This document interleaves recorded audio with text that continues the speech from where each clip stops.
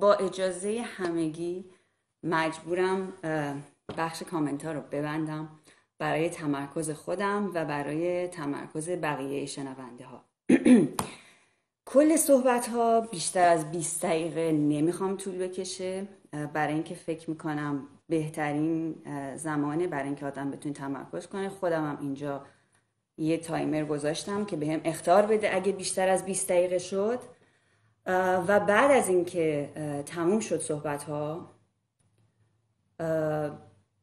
چون ترجیح میدم که با تمرکز بالا به سوال ها جواب بدم پیشنهادی که به دوستان دادم و همه به یه شکلی به اتفاق نظر رسیم دربارهش اینه که بعد از اینکه حرفای من تموم شد دوستانی که سوالی دارند می‌تونن بیان به صفحه من و اونجا توی بخش پیغام ها مسیج ها سوالاتشون رو برای من بفرستن.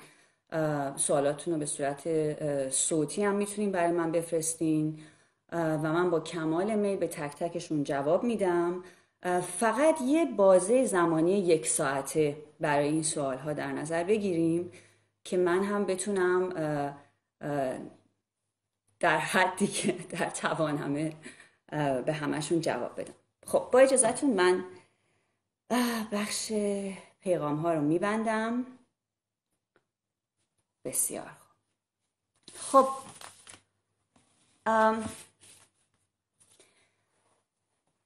بذارین از اینجا شروع بکنم که تمام اون چیزی که من الان توی این 20 دقیقه دوست دارم براتون بگم نکاتی هستش که یا موضوعاتی هستش که خارج از شرایط بحرانی که به شکلی همه ماها الان درگیرش هستیم هم فضای خودش رو داره و هم میشه دربارش بحث کرد. یعنی اون چیزهایی که براتون می‌خوام دربارش صحبت بکنم لزوما تنها در شرایط بحران مسئله من و مسئله بقیه همکارانم که تو این هیته کار می‌کنن نیست. ولی در شرایط بحران دقت کردن و بررسی دوباره یه سری از این موضوعات خیلی جالبتر میشه. و به شکلی موادی که به ما میده مواد اولیه‌ای که به ما میده برای کار پژوهشی خیلی دقیق تر می‌تونه این نکات رو مورد بررسی قرار بده. من دوست دارم همیشه موقعی که می‌خوام یه صحبت حالا خیلی تئوریک رو شروع بکنم اول یه قصه رو تعریف بکنم. معمولا این قصه ها شامل معرفی شخصیت ها یا موضوعاتی میشه که در هیته کلی و مینستریم بهش توجه نشده یا به تازگی یا در طول بگیم به تازگی در طول 20 سال گذشته بیشتر بهشون توجه شده. شخصیتی که برای من و برای هیته کار تیاتر استادیز مطالعات تئاتری از اهمیت بالایی برخوردار شده توی همین میشه گفت ده سال گذشته یک شخصیت مهم تئاتری که نمایشنامه نویس کارگردان و تئوریسین بوده هستش به اسم نیکولای باید درست تلفظش کنم. یوریف. یا ایوراینوف ببخشید. ایوراینوف. حالا برای چی این شخصیت انقدر داره اهمیته؟ چون اولین مباحثی که در مورد theatricality Theatralität مطرح شده در مطالعات این شخصیت بوده. زمانی که به صورت تقریبی ایوراینف کار می‌کرده مربوط میشه به دوره قبل از انقلاب اکتبر تا سالهای قبل از پایان جنگ جهانی دوم. اما سالهای طلایی این آدم به عنوان کسی که مباحث تئوریکی که مطرح کرده داره اهمیت خیلی بالا هست مربوط میشه دقیقا به سالهای بین 1905 تا 1925 حالا چرا این شخصیت اینقدر داره اهمیت الان می‌رسیم به اونجایی که من باید یه تصویر رو به شما نشون بدم. شامل این تصویر. امیدوارم که تیتر بالا رو همتون بخونین. بتونین بخونین. خب این تصویر چرا انقدر داره اهمیت زمان این تصویر کی هستش؟ کی گرفته شده؟ و اصولا ما چی داریم می‌بینیم؟ خب من برمیگردم. ببینید این تصویر که دیدین سه سال بعد از انقلاب اکتبر گرفته شده. اما انقدر تصویر مهمی هستش که تا همین سالهای اخیر به عنوان یکی از تصاویر باقی مونده از انقلاب اکتبر روش کار شده. در صورتی که از تصاویر انقلاب نیست. این تصویر از کجا میاد؟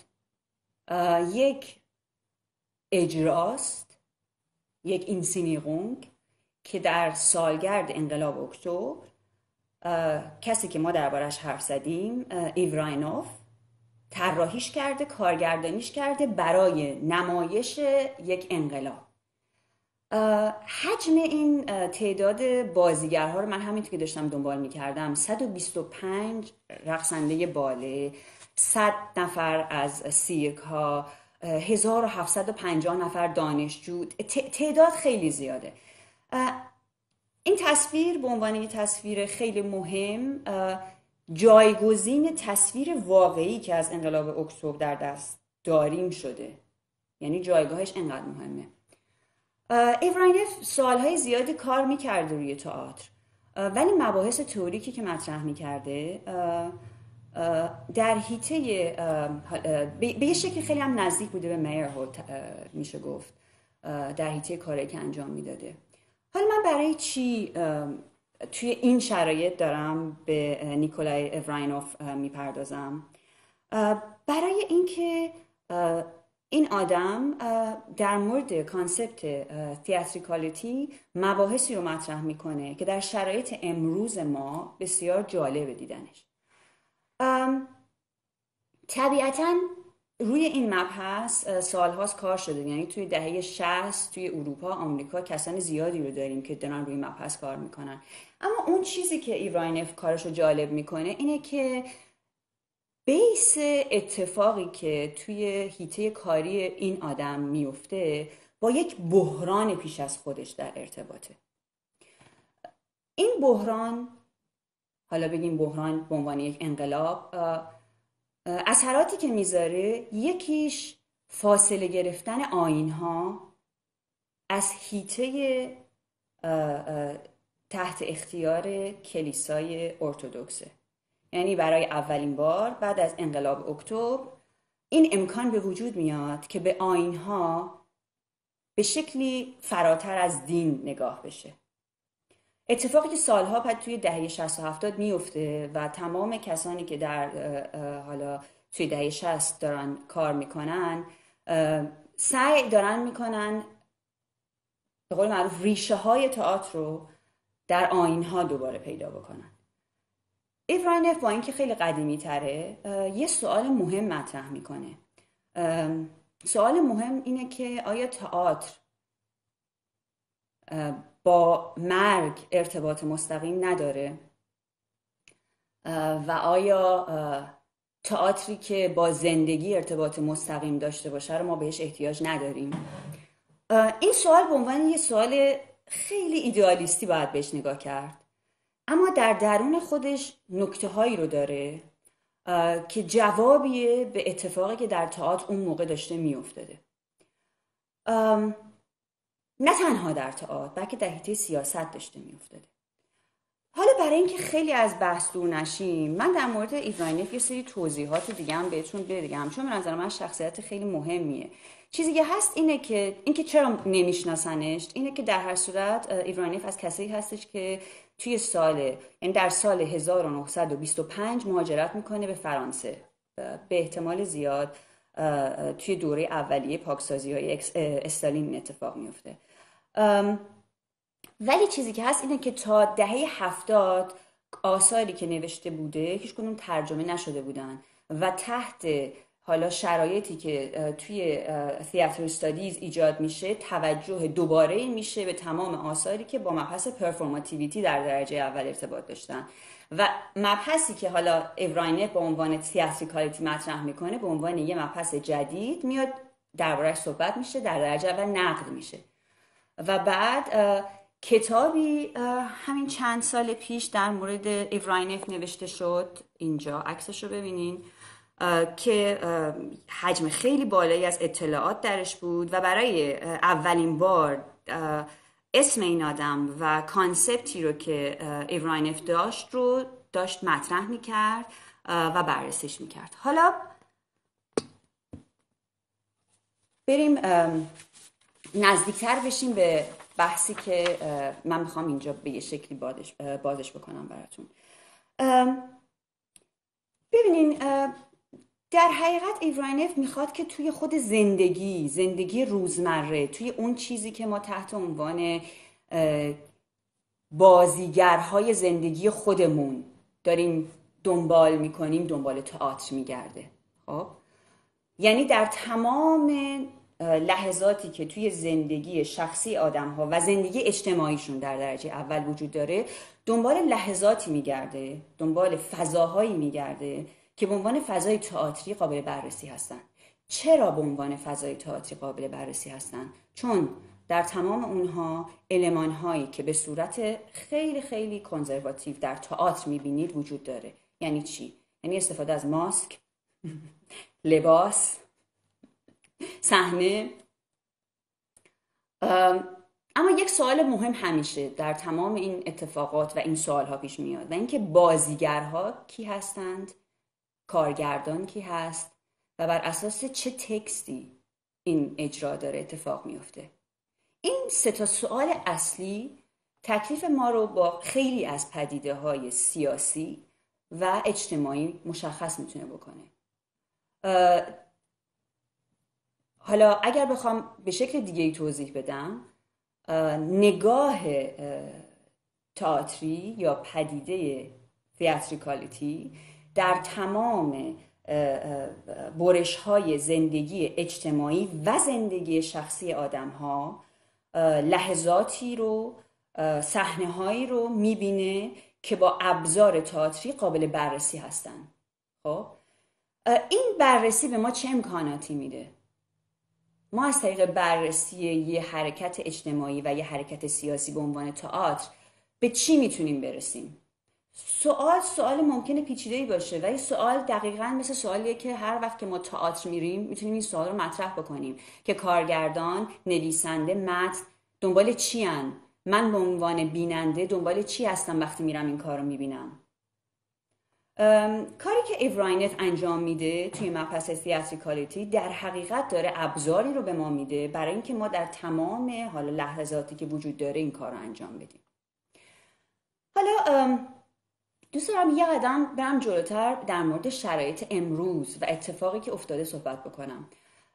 وقتی که توی صفحه اول گوگل کلماتی مثل تئاتر و کرونا رو سرچ بزنیم همین خیلی ساده.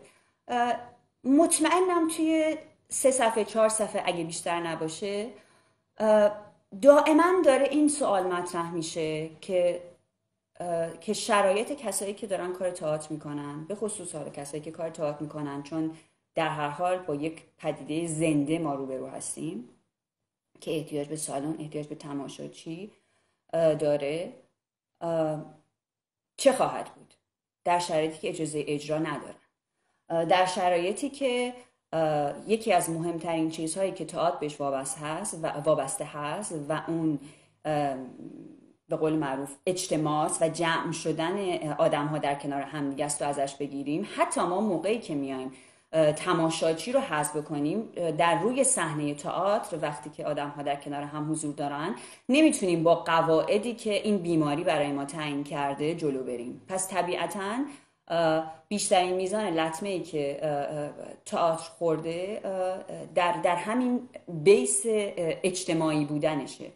حالا من دوباره برمیگردم به اون صفحه های صفحه گوگل و این وحشتی که هست از اینکه چه اتفاقی خواهد افتاد. تمام فستیوال ها کنسل شده اجراها کنسل شده.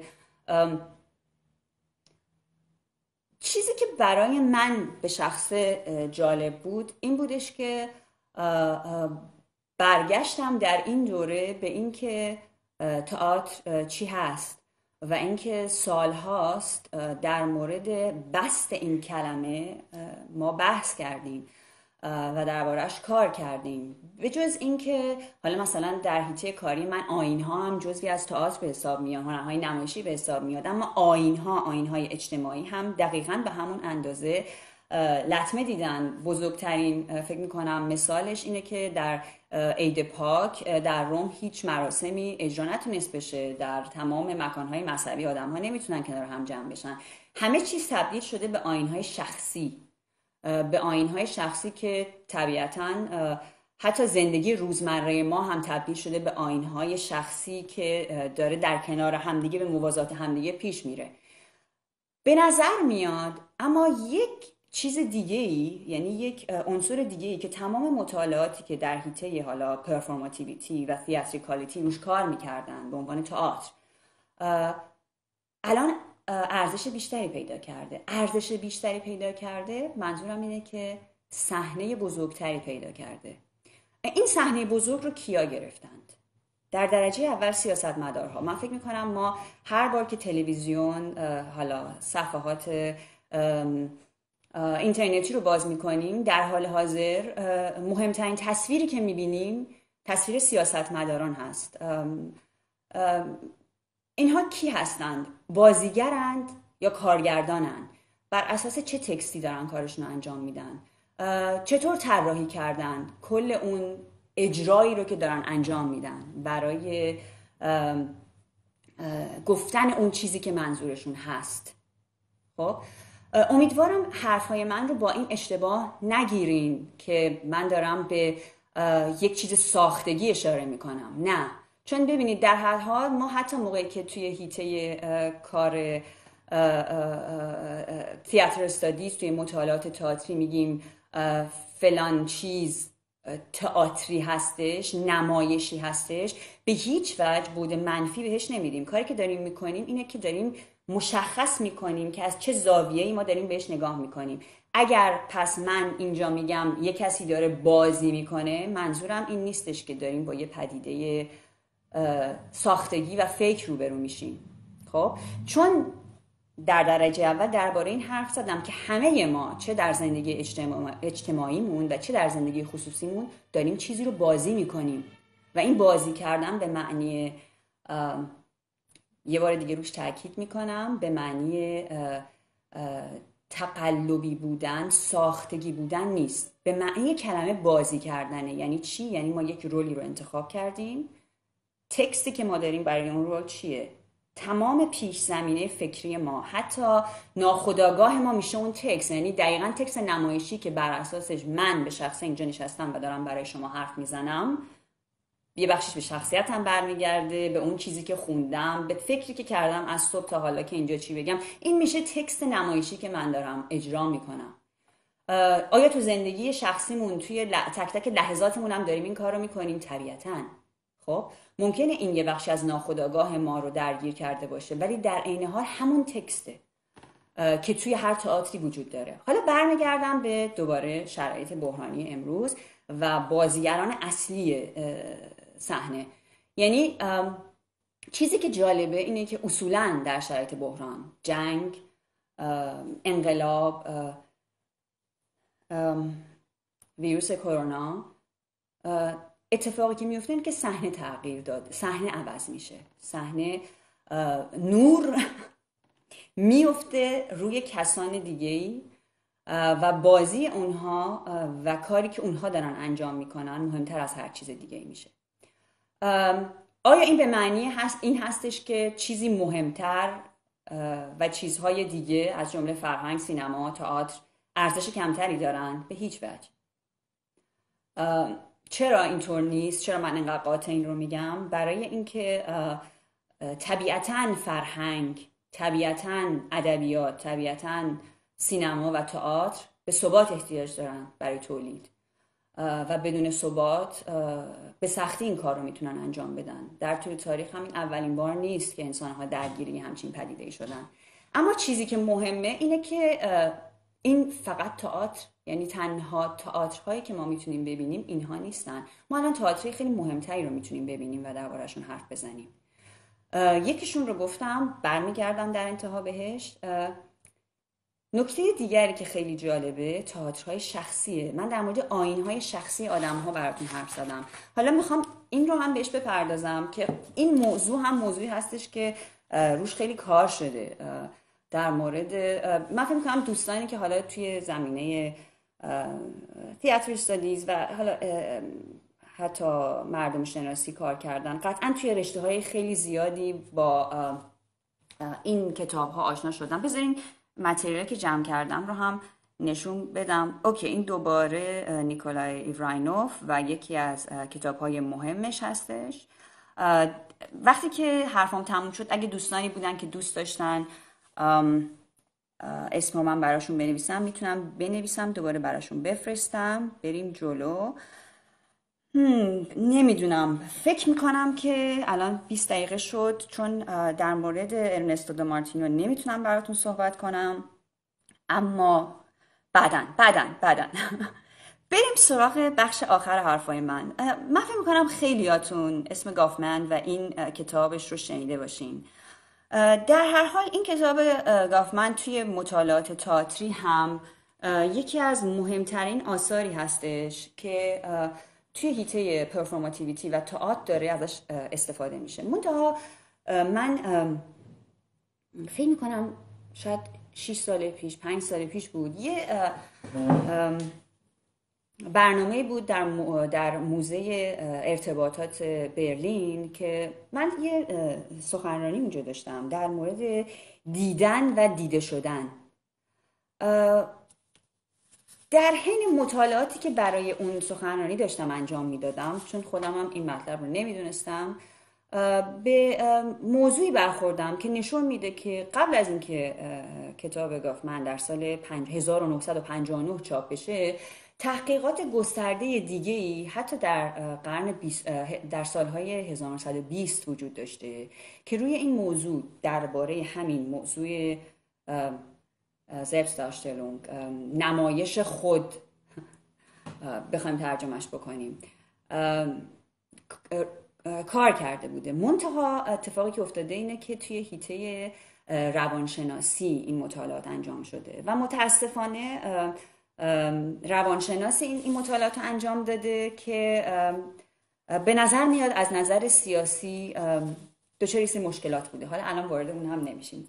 اسمش اسم این روانشناسی که می‌خوام در مورد کاراش یه مقدار صحبت کنم و توی همین موضوعاتی که ما داریم میگیم جالب. اسمش هست مولا فراینفلز اسمش خیلی طولانیه می‌دونم. ولی چیزی که هست اینه که فراینفلز تزایی که داشته در مورد تایتلایی داشته مثل دراماتوژی زندگی و یا فلسفه شخصی. یا فلسفه آره همون ترجمهش میشه فلسفه شخصی. کاری که فراین فرز انجام میده اینه که در دائما داره در مورد این صحبت می‌کنه که تمام اون چیزی که ما حتی وقتی تنها هستیم به نمایش می‌ذاریم با, با چه چیزهایی در ارتباطه؟ آیا همچنان ما فشاری که از بیرون از طرف اجتماع رومون هست رو در فضای خصوصی خودمون احساس می‌کنیم طبیعتا؟ حالا من باز هم به این موضوع رسیدم برای اینکه این, این رو مطرح کنم که موقعیتی که این ویروس ایجاد کرده موقعیت خیلی جالبیه دقیقا برای دیدن تمام این تئاتر شخصی. و اینکه هر انسانی این توان رو داره که در فضای اجتماعی در فضای بیرون خودش رو پرزنت بکنه خودش رو نشون بده. اینکه با چه لباسی با چه ماسکی با چه تکستی با چه کارگردانی داره این کار رو انجام میده یک اجرای کامله خب که خیلی فراتر میره از اون چیزی که شخص اجرا کننده دنبالش بوده. مثل هر اثر هنری دیگه ای یعنی من دارم در مورد موقعیتی حرف می‌زنم که به یه شکلی باید تایتل پیش از زیبایی شناسی رو بهش داد. ببینیم ما با معیارهای زیبایی شناسی نمیایم این اجراها رو بررسی بکنیم. ما توی این اجراها دنبال چیز دیگه ای هستیم. پس طبیعتا این اجراها نباید معیارهای زیبایی شناسی شخص من یا کسی دیگه رو داشته باشن. اما اجرا محسوب میشن بدون اینکه سلیقه من رو در نظر بگیرم از اونجایی که حالا می‌رسیم به اون بخشی که من حالا وسط صحبت ها داشتم دربارش می‌گفتم و اون این بودش که سیاست مدارها به عنوان مهمترین بازیگران صحنه امروز. من یه ویدیو براتون انتخاب کردم. خودم این ویدیو رو شاید چند روز پیش دیدم و خیلی برام جالب بود. این ویدیو همزمان به انگلیسی ترجمه میشه. براتون میذارمش که ببینین. و بعد می‌تونیم امیدوارم که صداش خوب باشه. اجازه بدین. اوکی من اول بزرگش کنم. اول می‌ذارم براتون ببینین بعد توضیح میدم دربارش. And says he doesn't regret his country's approach. Di la perfezione non è di questo mondo. Look, perfection doesn't exist in this world. I'm not so arrogant as to think that the Italian government was perfect. But going back, I would do the same again, and I'll tell you why. We have a completely different system from China. For us, to severely limit constitutional freedoms was a critical decision that we had to consider very carefully. If I had suggested a lockdown or a restriction of constitutional rights at the beginning, when there were the first clusters, people would have taken me for a madman. Does Italy feel... Ho. Um, uh, بعد از اینکه در هر صورت توی هفته های گذشته آمار کشته شدگان ویروس کرونا توی ایتالیا خب خیلی بالا بود جوزپ کانته با بی بی سی مصاحبه می‌کنه با وجود اینکه انگلیسی هم می‌تونه صحبت بکنه چون در آمریکا تحصیل کرده. به زبان ایتالیایی داره در مورد این صحبت می‌کنه که اگر ایتالیا مثل چین از همون ابتدا قواعد خیلی سنگینی رو گذاشته بود و آزادی های فردی رو به سرعت چین محدود کرده بود همه کنتر رو یک دیوانه خطاب می کردند حالا بجز اینکه در مورد این صحبت می‌کنه که حالا بیس یک حکومت دموکراتیک در ایتالیا وجود داره و از این نظر با چین متفاوت هستش. این استفاده از اون رو یک دیوان خطاب می‌کردن چیزی بود که من خیلی برام جالب بود که کنته در این اجرایی که داره به شدت می‌دونه که چقدر حساس موقعیتی که داره و اون چیزهایی که میگه رو داره تمام دارن تمام دنیا میشنون. حالا اجازه بدین این پرفورمنس کنته رو بازم میگم اینجا منظور من از پرفورمنس به هیچ وجه یک اجرایی که آثنتیک نیستش نیست. ما با یه اجرا سر و کار داریم که باورش می‌کنیم در درجه اول تا بتونیم تحلیلش کنیم. آیا ما حرفای کنتر رو باور می‌کنیم؟ این سوال اولمونه. مثل اینکه دارین یه کار تئاتر می‌بینین. آیا شما اون بازیگری رو که داره اجرا می‌کنه باور می‌کنین؟ خوب بازی می‌کنه نقشش رو؟ در مورد کنته باور می‌کنید؟ من برام این نکته جالب بود که کنته به عنوان یه سیاستمدار راستگرا در اروپا مطرح هستش اسمش همیشه.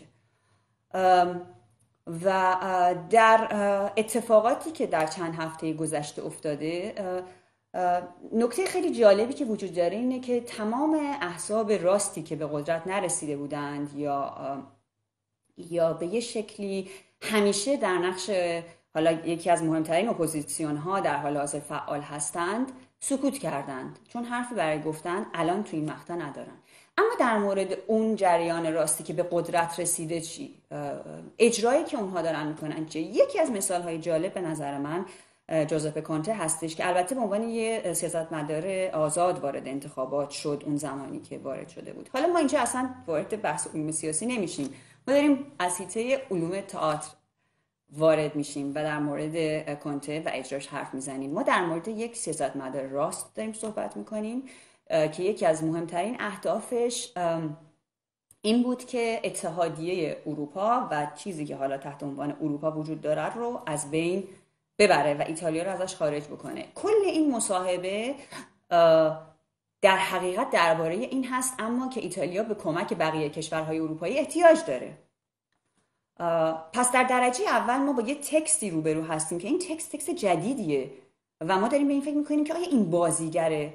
این بازیگری که من یه تکست دیگه ازش میشناختم. من این آدم رو با نقشای دیگه دیده بودم. نقش آدم دیگه رو تا حالا بازی کرده بود. این نقش نقش جدیدیه. من این نقش باور می‌کنم. من فکر می‌کنم کنته در این اجرا موفقه. چون از کلمه مرد دیوانه استفاده می‌کنه. با چه عنوان؟ توی حرفهاش داره در مورد بیس, بیس های یعنی به یه شکلی بنیان های دموکراسی صحبت می‌کنه که نمی‌تونسته آزادی های شخصی رو با سرعت چین زیر سوال ببره و به خاطر همین نتونسته برخورد خیلی شدیدی از اول بکنه. خب؟ اما در عین حال جم... تمام حرفاش رو با این صحبت شروع می‌کنه که هیچ کس پرفکت نیست. هیچ چیزی ایدئال نیست. میزان کاری که انجام میده چیه؟ ببینیم ما توی یه جریانی وجود داریم که الان سیاستمدارها بیشترین و بهترین استفاده رو از شرایطشون می‌تونن بکنن. برای اجرای جدید و درست از اون کار از اون اتفاقی که داره میفته. به نظر من کنته خیلی موفقه توی اجراش. به خاطر اینکه هوشمندانه کلماتی رو استفاده می‌کنه که ما تا حالا ازش نشنیدیم و در مورد چیزهایی صحبت می‌کنه که حتی کسانی که مخالفش هستن باعث میشن بهش گوش بدن.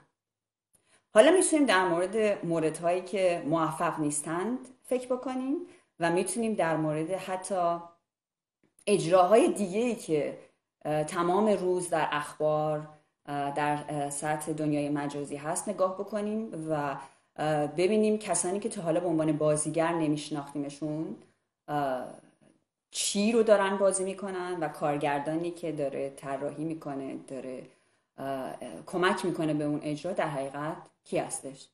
من تایمری که اینجا گذاشتم داره نشون میده که من به دقیقه 32 رسیدم. و خیلی خوشحالم از اینکه تونستم حالا این ایده ها رو به یه شکلی براتون بگم و همونطور که اول صحبتان گفتم تمام سوالاتون رو از حالا تا یک ساعت دیگه می‌تونین برای من توی صفحه اینستاگرامم بفرستین. اگر تایپ کردن سخته به صورت صوتی بفرستین. من با کمال میل تک تکشون رو با دقت و طولانی جواب میدم. خیلی ممنونم. جمعه خوبی داشته باشین.